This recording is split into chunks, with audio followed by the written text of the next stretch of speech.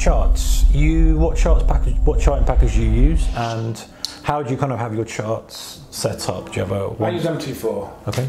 Um, my, my charts are, are just fairly simple. There's not a lot on them. Um, like I said, looking for patterns, looking for the one, two, three. I might sort of mark on a one, two, three with, with um, a few lines.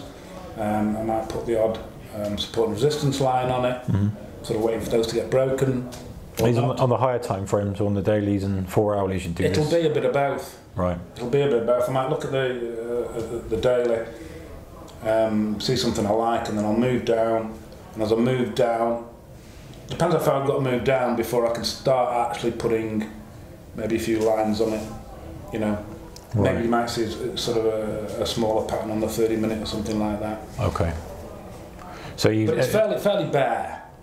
Yeah, you're you're a real component of keeping it simple and clean, and um, and it, the more stuff on there, the more cluttered your decision making is and stuff. Right. Did you have did you have what, kind of one screen up with you flick between your daily and your four hourly as as you want to look at it? You just literally minimise one and bring the other I up. just, I, I just, yeah, I just minimise one up. Yeah. I just say one chart, one pair, and then analyse that up and down. Yeah, sure. And I'll just I'll probably just keep going up and down it a few times, just to get a sense of what's what's happening with it.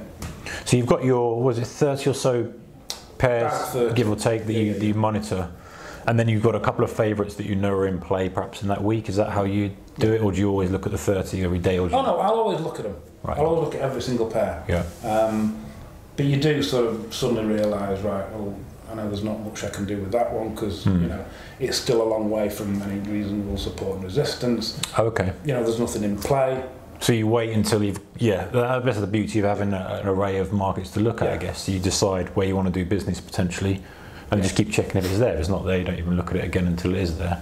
Yeah, it, it's sort of, to be quite honest, what I do is I try and um, eliminate pairs. Rather than, Bringing it in, bringing rather than in. forcing a trade onto a pair, Yeah. if there's nothing there, gone. Anything, gone. Anything, get rid of them. Yeah. Pick, you, you're trying to pick the best strategy. You're Yeah. Mm. grading your strategy, you, you're grading what's on the screen. Get rid, get rid. And Yeah. If, if they're quite reasonable, I want to take a look at them, then I'll move them to the front.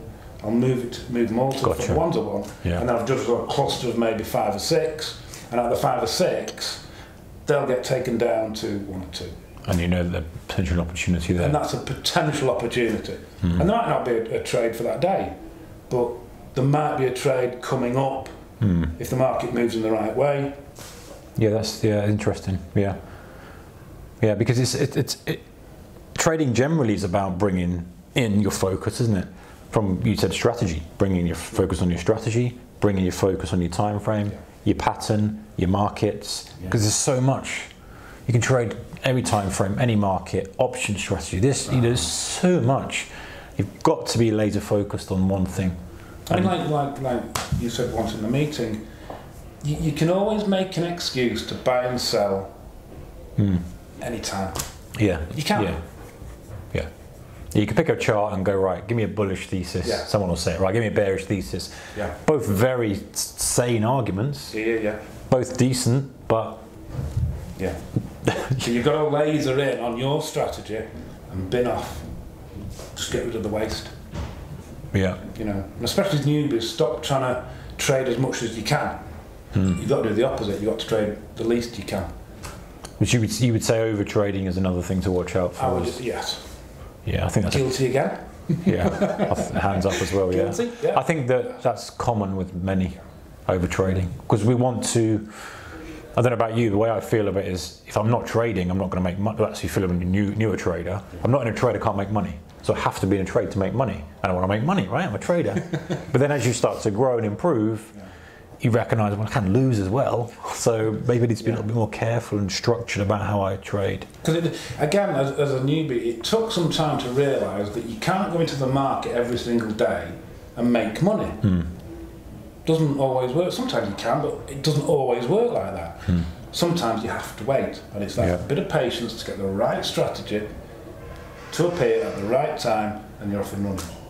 You know, if you're a scalper, then fair enough. Maybe your opportunity appears more often. Mm. But when you start looking at the bigger time frames, they get reduced slightly. Mm. But even as a scalper, you, you, I mean, there'd be times in the day where it's quiet and you probably haven't got your edge.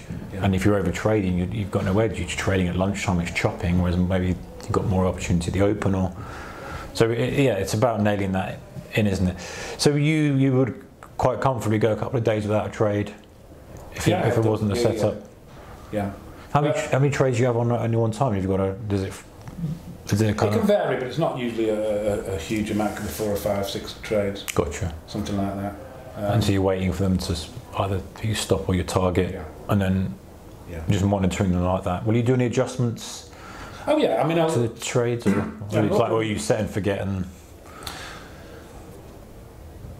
you can. Well, it depends if you limit orders or, or you know, um, hmm, pending orders or anything. But normally, we, we, if I'm in a trade, I look at it in the morning to see whether um, there's anything I can do with it.